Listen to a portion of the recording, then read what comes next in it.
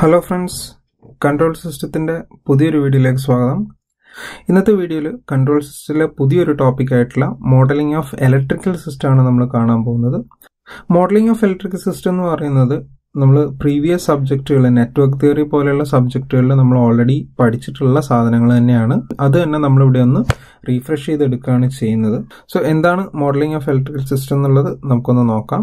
The models of electrical system can be obtained by using resistors capacitors and inductors ഈ മൂന്ന് main എലമെന്റ്സുകൾ വെച്ചിട്ടാണ് electrical സിസ്റ്റത്തിന്റെ models നമ്മൾ ചെയ്യുന്നത്. സോ അതിനു വേണ്ടിയിട്ട് തന്നെ നമ്മൾ എന്ത് ചെയ്യുന്നു പറഞ്ഞു കഴിഞ്ഞാൽ ഈ റെസിസ്റ്ററിന്റെയും കപ്പാസിറ്റേഴ്സിന്റെയും ഇൻഡക്ടേഴ്സിന്റെയും മാത്തമെറ്റിക്കൽ എക്സ്പ്രഷൻസ് നമ്മൾ മോഡൽ ചെയ്തിട്ട് അതാണ് നമ്മൾ ഇക്വേഷൻസിനകത്ത് യൂസ് ചെയ്യുക.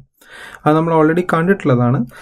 So for modelling for system the system, network electrical formed by using R L C and voltage and current sources so ഒരു ഇലക്ട്രിക്കൽ സിസ്റ്റത്തിനകത്ത് നമുക്ക് ഈ മൂന്ന് ബേസിക് കോമ്പണൻസിന്റെ കൂടെ വോൾട്ടേജോ അല്ലെങ്കിൽ കറണ്ട് സോഴ്സോ നമുക്ക് അതിനകത്ത് ഉണ്ടാവും. Okay the differential equation governing the electrical system can be found by writing Kirchhoff current law or Kirchhoff voltage law ഈ മെത്തേഡുകളൊക്കെ നമ്മൾ ഓൾറെഡി പഠിച്ചിട്ടുള്ളതാണ്. സോ അതുകൊണ്ട് തന്നെ ഈ കിർച്ചോഫ് ലോസ് വെച്ചിട്ട് നമുക്ക് ഈ മാത്തമെറ്റിക്കൽ എക്സ്പ്രഷൻസ് നമുക്ക് ഈസി ആയിട്ട് കൊണ്ടുവരാം. ഈ ഒരു എക്സ്പ്രഷൻ ദാറ്റ് ഈസ് ഈ കിച്ച് ഓഫ് ലോസ് ഒക്കെ വെച്ചിട്ട് നമുക്കൊരു എക്സ്പ്രഷൻ കിട്ടിക്കഴിഞ്ഞിട്ടുണ്ടെങ്കിൽ നെക്സ്റ്റ് സ്റ്റെപ്പ് എന്താണ്?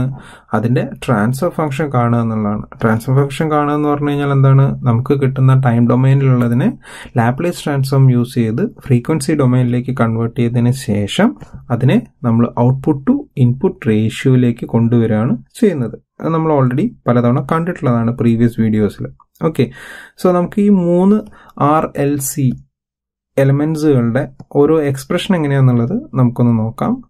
സോ ഇവിടെ നമ്മൾ നോക്കിയാൽ റെസിസ്റ്റേഴ്സ് ഇൻഡക്ടേഴ്സ് ആൻഡ് കപ്പാസിറ്റേഴ്സ് ഈ മൂന്ന് എലമെന്റ്സ് ആണ് നമുക്കവിടെ വരുന്നത്.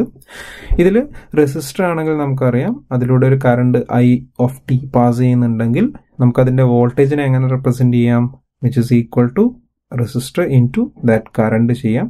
ഇനി അതല്ല അതിനെ നമ്മൾ കറണ്ട് ആയിട്ടാണ് റെപ്രസെന്റ് ചെയ്യുന്നതെങ്കിൽ V of T divided by R of T എന്നുള്ള ഫോമിൽ എക്സ്പ്രസ് ചെയ്യാം. പക്ഷെ അതേസമയത്ത് ഇൻഡക്ടർ ആണെങ്കിൽ അതിലൂടെയുള്ള കറണ്ട് ഐ ഓഫ് ടി ആണെങ്കിൽ വി ഓഫ് ടി നമ്മൾ എങ്ങനെ റെപ്രസെന്റ് ചെയ്യും? Inductor value L into differentiation of I of T that current ആണ് നമ്മൾ എക്സ്പ്രസ് ചെയ്യുന്നത്.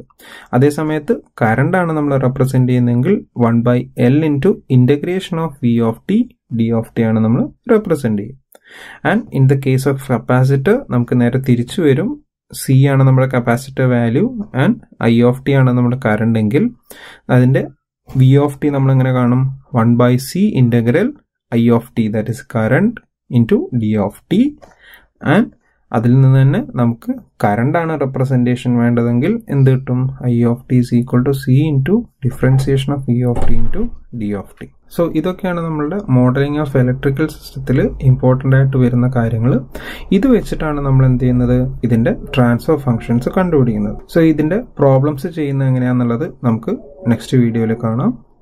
സോ ഇത്രയാണ് ഇന്നത്തെ വീഡിയോയിലുള്ളത് thanks for watching the video അടുത്ത വീഡിയോയിൽ കാണുന്നവരെ ഗുഡ് ബൈ